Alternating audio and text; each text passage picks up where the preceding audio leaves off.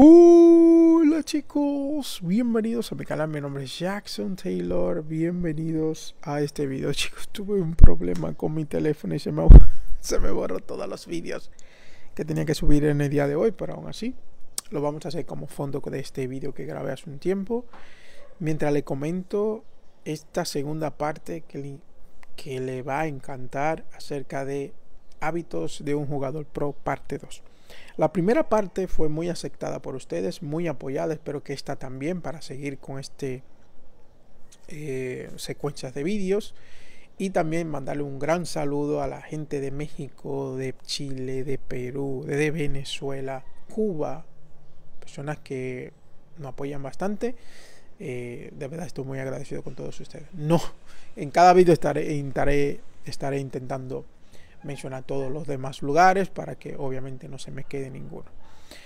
En esta ocasión vamos a empezar con hábitos que realmente son importantes para un jugador no, eh, casual o un jugador que quiere llegar al competitivo que debe de comenzar a realizar. La primera cosa que hace un jugador pro, que era un hábito que teníamos nosotros en Infierno 3 hacia abajo, es vender sus gemas normales. Un jugador pro nunca vende sus gemas normales. ¿Y por qué al principio sí era rentable ya no, porque al principio necesitábamos conseguir lo más posible porque era más difícil conseguir eh, cimeras legendarias para conseguir buenas gemas legendarias y mejorar la ya que tenemos. Pero ya con toda la mejora que ha recibido el juego, ya no es necesario. Ya podemos usar este hábito de los jugadores pro de no vender nuestras gemas normales. ¿Por qué no podemos vender nuestras gemas normales? Porque las gemas normales son las gemas primero, más rentable para un jugador free to play, la más rentable, y gemas que aportan mucho, mucho daño al jugador. ¿Por qué lo digo? Si ustedes se fijan, ustedes van a, su objeto legendario que, poseen ahora mismo. Eh, por ejemplo, yo tengo uno de 268 de inteligencia, es bastante bajo para el nivel que estoy, pero todavía no estoy en nivel de servidor. Pero ese me da 80 de, 80 de daño ese objeto legendario. Y me da también eh, índice de combate. Aún así, nos enfocamos en el daño del objeto legendario y nos vamos a una gema normal. Una gema normal de rango 6 te da 148 de daño. O sea, es muchísimo más, muchísimo más. Eso quiere decir que si en tus piezas tú tienes, por ejemplo, 6 gemas normales de rango 6, es un montón de daño extra que vas a tener con todas tus habilidades. Con todas tus habilidades.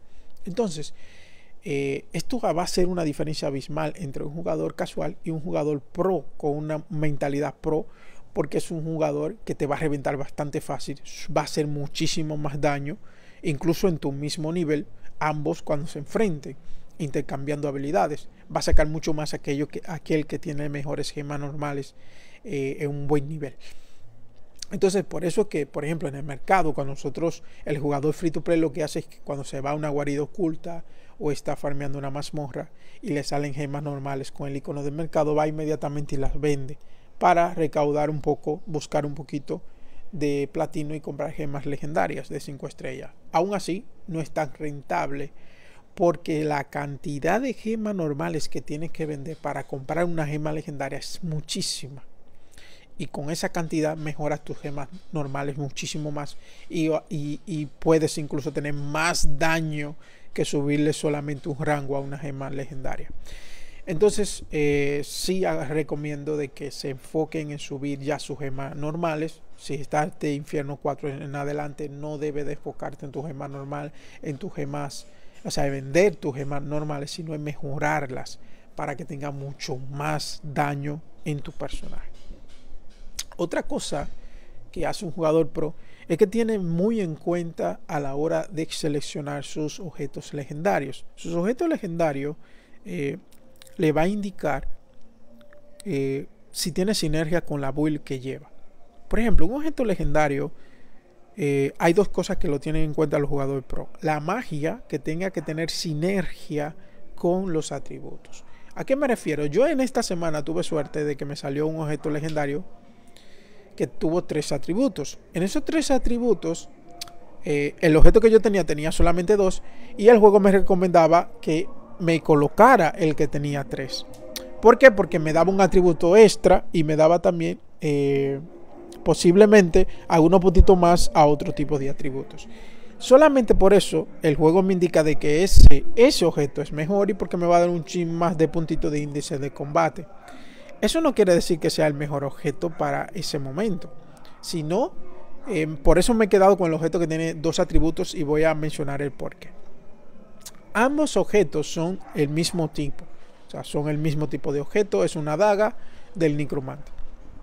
En la magia, el que tiene dos atributos tenía un 4% más de daño a, los enemigos con escudo y un 3% de daño a las habilidades.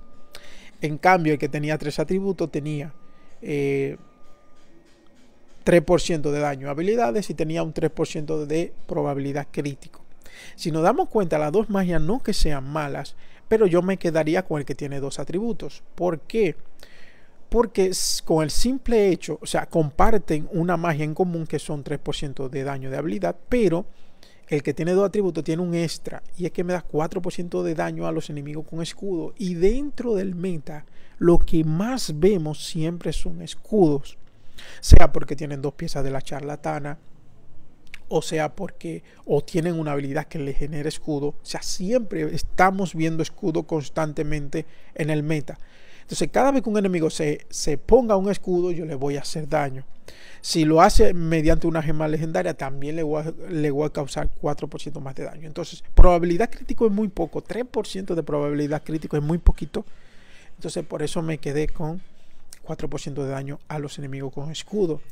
Y por último, los atributos. El que, tiene tres, el que tiene tres atributos no tenía inteligencia, o sea, no tenía daño. Lo que tenía era penetración de armadura, un, un 8 o 18% de penetración de armadura y de armadura, tenía vida y tenía resistencia. La resistencia sí me puede servir para los efectos de control, pero no para causar daño. En cambio, que tiene dos atributos tenía inteligencia que me daba 80 de daño y también me daba vida. Si nos damos cuenta, un jugador pro, ¿cuál objeto llevaría para su build? Dependiendo de la situación. Si tú vas a una build que vas a guanchotear, o sea, que vas a guanchotear, vas a tirar todas las habilidades para matar al enemigo, debes de llevarte el objeto que tiene daño. Si te vas, si el jugador pro va a una build de efecto de control, de, control de masas, o sea que vas a tirar habilidades para controlar el enemigo, ralentizarlo, envenenarlo, causarle algún efecto alterado, y tirarle habilidades para que se muera poco a poco, obviamente el objeto que tiene tres atributos es el mejor en esta situación.